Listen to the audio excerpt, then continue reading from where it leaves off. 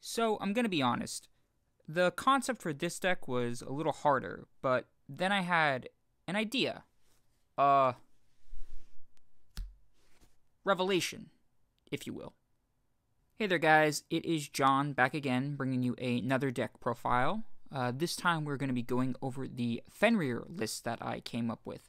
Now, before I start out with anything, I do just want to say that overall, this deck is not as linear as you might think it is when you first look at it.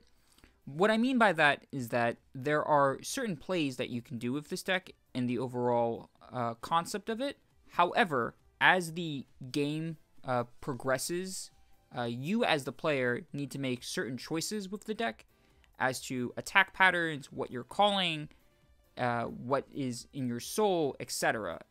And it's things like that that I personally enjoy about this deck, and the overall concept that it's not as unga bunga, where you just slap cards down and you just do your plays.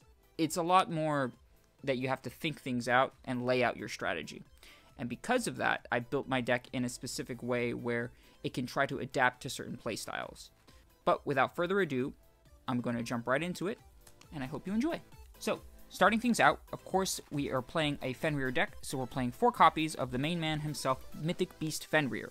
So, his ability, Act, once per turn, Soul Blast one or more cards, and you search your deck for up to one card with the same grade as the total grades that you Soul Blasted. Then you add that card to hand, and then call a card to Rearguard Circle. Next, his other ability. When a card was put into Soul from your drop zone, you can counterblast one and call one of those cards to the rearguard circle. And then his last ability is on Vanguard, when he attacks, Soul Blast 1, and he gets 10k power. So overall, this deck is, in itself, only built specifically to ride Fenrir. But when you do, it's a super consistent build in the fact that you are allowed to basically tutor out your entire deck for a specific card that you need. Anything from the Grade 2 Gleipnir to your Vanaganders, to even uh, potential grade 1s or order cards that you potentially might need in order to close out the game. Overall, the card is underlooked, but that doesn't make it any less powerful. It's a very scary card, especially in the late game when you're pushing for potential 2 damage on your opponent's 4 damage consistently every turn. You're doing maybe 4 plus swings, all with relatively large numbers. So, 4 of it, very good card. Moving on. So, with, of course, our four Mythic Beast Fenrir, we have four copies of Mythic Beast Vanagander. So, his ability. When placed on Van or Rear, Soul Blast 1, choose one of your opponent's rear guards and retire it. And if you place Vanagander on the Vanguard circle, you choose all of your opponent's rear guards instead. So that in itself is really crazy. For a Soul Blast 1 on Vanguard, you wipe out the entire board. Um, I really wish Kagero had something like that, Bushiroad. Like, holy cow and his second ability. At the end of the battle that he attacked a Vanguard, put this unit into your soul, look at three cards from the top of the deck, put one card from among them to the top, the other to the bottom, and the rest into your soul. Overall, he is your setup card. He is a very strong grade 3. If you have to ride him, it's not the end of the world because on the following turn, you can easily just ride the Fenrir if you get him, tutor him out via abilities, or possibly even like Soul Blast him out and then get another copy from your deck. So it is a very powerful card in the sense that it is a quote unquote control card, but at the same time, it allows you to consistently stack your deck for push plays that you're going to be doing. So you would normally swing, uh, call him on a side, maybe with a Force 2 marker on him, swing, uh, put him into the soul, stack your deck with potential critical triggers, and then uh, play it out from there. And if not, then you have a backup strategy, which I will show in my grade 2 slot. But for now, four of him, good card. Now, moving on to the grade 2s. Now, my grade 2 slot, uh, I was testing primarily with uh, various different types of grade 2s, but this is the current uh, lineup that I'm most comfortable with, and I will show it to you guys. So, I am playing four copies of Gleipnir.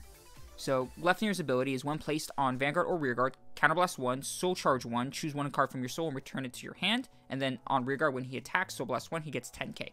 So, very, very good card for this deck, okay? So he helps tutor out the cards that are necessary to perform combos from your soul, as well as being a uh, beat stick that you need to potentially push out games.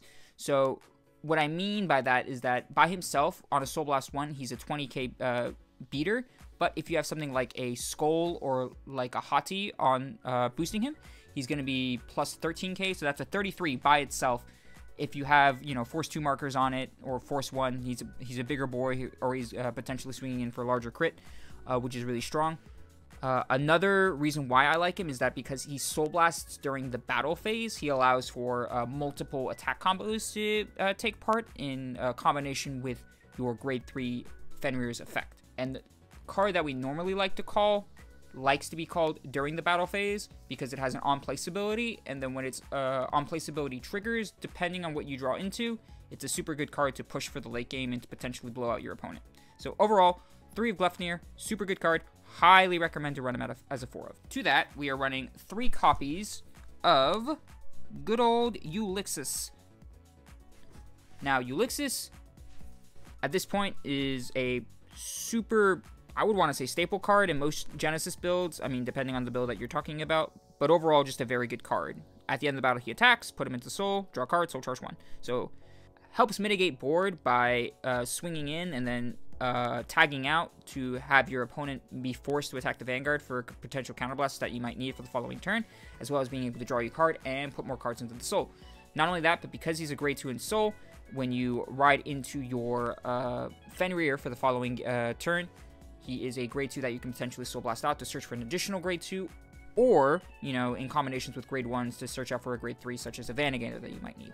So, overall, very good tempo card. I'm comfortable with running him as, as a 3 of, and the reason for that is because I wanted to put as much space as I could for the uh, next card, because I personally feel like the next card is a very powerful card. It's not necessary, but I find it to be a very strong card. So, you guys might be wondering what that card is, and I will show it to you right now. It is three copies of Battle Maiden, Sahohime. So, Sahohime, ability. When placed, Counterblast 1, Soul Blast 2. You draw two cards, then you put a card from your hand into your soul, and her power increases by the shield value of the card that you put into the soul until the end of the turn. So, she's a very good card for this deck for a few reasons. One, in the early game, if you don't have the combo pieces that you uh, need, she can potentially make you draw into them because it is a draw two. And then two for the late game, when you're pushing in for on your Fenrir turn, you do something like swinging with your Vanagander. Then you, uh, if your deck possibly is not stacked with triggers because you know Vanagander can't always guarantee you double triggers, you then would proceed to do something like swinging with your uh, Gleipnir or swinging with your Fenrir, Soul Blast 1, and, you know, if you're filtering through your deck, you would have the Sahoe in your soul. You would Soul Blast the Sahohime. You'd call her. You'd Counterblast one. You would draw those uh, dead cards that you would have drove check, and then you put in a large shield value like a heal trigger or the Sentinel critical trigger, and then she gets plus 20k, K, plus 30k. And if she's on a, a Force 2 marker, that makes her a very scary card for pushing in. So overall, very, very good card. Obviously, you can run something else if you want, but as it stands right now, I'm very comfortable with her uh, being as a 3 of 2 because um, she's a good ride target, she is good to search out, and if need be, she can be shoved into the soul with uh, Bangle, which is what we run. We run the order card. Overall, very good card. Yeah, next, grade 1 slots. So, the grade 1 slot, uh, it's actually kind of funny. It's actually very... If you guys watched my uh, my Himiko profile, the grade 1 slot is very similar. Um, I'm going to say, like I said last time, at the time of this recording, we don't have that grade 1 promo, but when we do, I would actually recommend adding it into this deck, only because it's a very strong card, guys. Like, it, it, it pumps up your Vanguard, it stacks your deck, and that in combination with uh, Vanagander is actually super, super strong. But as it stands right now, the, the deck performs well as enough as it is, so I'm okay with not running it at the current moment, but when we do get it, I probably would put it in the deck, but that is up to you guys. Uh, anyway, Enough of my rambling. Let's get on to the grade ones. Grade one slots. Four of Mythic Beast Skoll. Ability. During your turn, when you Soul Blast it, he gets 5k, and then he's a generic uh, V searcher for grade 3s. So overall, he is a uh, big beater in the late game, as well as a potential beater in the early game, depending on what you Soul Blast. But of course, the main reason why we play him is because we want to ride our Fenrir. The point of the deck is to get Fenrir, and the best way we can get Fenrir is to play cards that can consistently search him out. So therefore, we need to play four of him. He's a super good card, guys. If you are a Genesis uh, player, I highly recommend that you grab this card as a four of. Okay, next, we are going to be playing four copies to follow it off with Mythic Beast Hati. So Hati also, same ability. When Soul Blasted, he gets 5k. However, when he's placed on Vanguard or Rearguard Circle, you can Soul Charge 2 with this card. So, Same concept, uh, such as Skoll, he's a big beater. However, in the other instance, when he's placed and you Soul Charge, he has the ability to Soul Charge necessary combo pieces into your Soul to push in for those late game turns. Overall, he's a very strong card. It's a potential card you can actually swap out once the uh, Grade 1 promo is released, but as it stands right now, super comfortable with it. Very good card. I am also going to be running four copies of Astrea of the Full Heavens. Now, her ability, when placed on Vanguard or Rearguard, you may draw a card, then put a card from your bottom of your deck, and if she was placed on Vanguard Circle, you Soul Charge 2. Then, at the end of the battle that she boosted, you Soul Blast 2, and you bounce this unit back to your hand. So there's a few reasons why we play this card. One, she's going to be your ideal grade 1 ride for this build. Ideally because you want to, again, draw as many cards as you can to try and get into your Fenrir, because you obviously want to try and ride into Fenrir as fast as you can. Second, she is able to Soul Charge 2, filter more cards into your soul to be able to perform your uh, plays uh, faster.